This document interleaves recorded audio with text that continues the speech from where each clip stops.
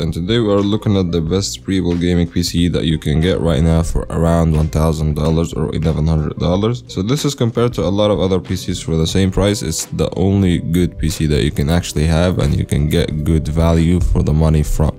And you can check the links in the description if you're interested in this PC. But we're looking at an Allied gaming PC with the specs as follows. There's a Ryzen 5 5600X, a B550 board so you can do some overclocking. I believe not the stock cooler cooler. I believe an aftermarket cooler. 16 gigs of DDR4 RAM. I'm pretty sure they're 3200 megahertz at least. The RX 6700 XT. And last but not least, an 800 watt 80 plus gold power supply. Now, if you decided to build this PC on PC Part Picker, you'd find it hovering around $1100. So this one goes for, for 1100 So there's like around 100 to $150 difference between uh, building it yourself and getting this pre-built PC but this is the usual difference you know? But when it comes to the performance the 5600X and the 6700XT so that's an old AMD uh, PC you're getting yourself great value for the money. For example a game like Apex Legends you're getting 240 FPS a game like Warzone you're getting 180 200 frames per second. A lot of other games.